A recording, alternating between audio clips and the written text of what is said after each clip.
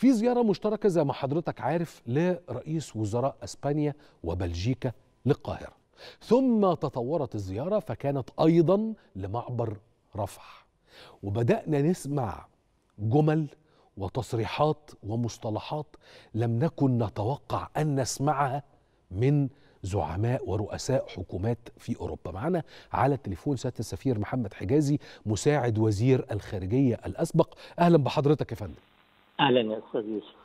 يمكن بالتحديد بتكلم على زيارة رئيس وزراء بلجيكا والرئيس الوزراء الأسباني ما بين القاهرة وما بين رفح واستخدام لغة لم نكن نعهدها على الأوروبيين من قبل.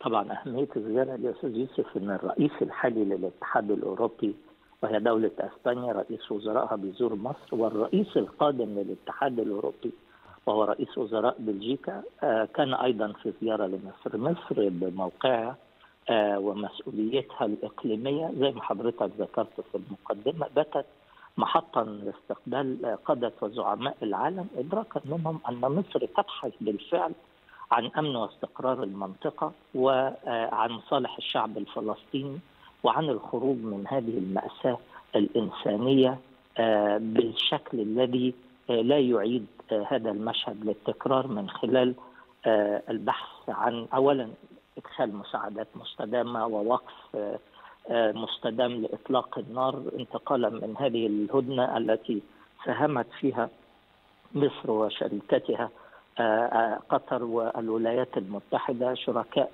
هذا التفاوض. ولكن بكل تأكيد أن مصر القادرة على أن تحفظ الحق الفلسطيني واقترح السيد الرئيس في جلسات مباحثاته وفي المؤتمر الصحفي مع رئيس وزراء إسبانيا وبلجيكا رؤية للتقدم نحو دولة فلسطينية على حدود الرابع من يونيو عام 67 وعاصمتها القدس الشرقية في إطار الخروج عن النمط التفاوضي التقليدي لإقامة مؤتمرات للسلام تخرج وبلا تحقيق لهدف حل الدولتين عبر 30 عاما تم تجربة هذا المسار. وعلينا الآن أن نسعى كما ذكر السيد الرئيس لاعتراف بدولة فلسطين في الأمم المتحدة يقود لمرحلة انتقالية تنشأ فيها الدولة الفلسطينية ويمكن أن تكون منزوعة السلاح وبها قوات دولية. أي أن السيد الرئيس يسعى للوصول لحل الدولتين من أقرب طريق وهو الاعتراف المباشر في الأمم المتحدة والانتقال لمرحلة يتم فيها تثبيت أوضاع أبنائنا في غزة والضفة الغربية على أرضهم تحت رعاية دولية لا تؤدي لعملية القتل العمدي اليومي المتواصل سواء في الضفة أو ما شاهدناه عبر 45 يوم من الجرائم.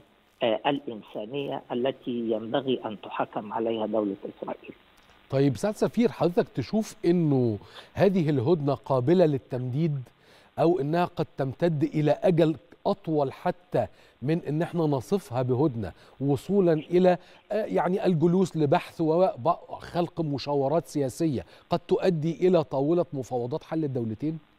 فنحتاج لجهود جميع الأطراف مصر بثقلها الدول العربية ذات التأثير على المشهد. سنحتاج لأصدقاء إسرائيل أو المتواطئين مع إسرائيل للضغط عليها حتى يتم استدراج المشهد إلى مرحلة الديمومة والاستمرارية في وقف إطلاق نار مستدام. بكل تأكيد المشهد الحالي في ظل حكومة إسرائيلية ال mindset طريقة تفكيرها العصبي الانتقامي الغير أخلاقي لابد أن نسعى من خلال مجموعة دول أصدقاء إسرائيل للضغط عليها لإنزالها من غلواء موقفها إلى أرض الواقع، الواقع الذي يقول أنه لا يمكن تحقيق الهدفين التي اعتمدت عليهم إسرائيل وسعت لتحقيقهم عبر 45 يوم من القتل والإبادة الجماعية، جريمة مكتملة الأركان ولم تحقق لا الهدف الأول بالقضاء على حماس.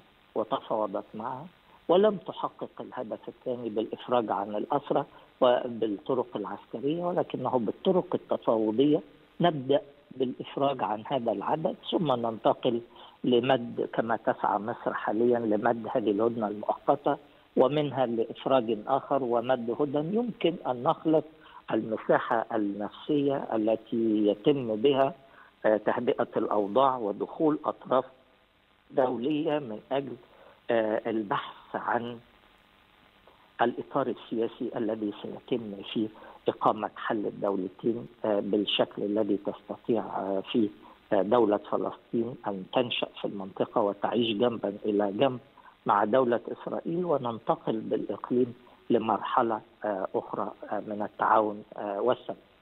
عظيم جدا. أنا بشكرك جدا سيادة السفير محمد حجازي مساعد وزير الخارجية الأسبق.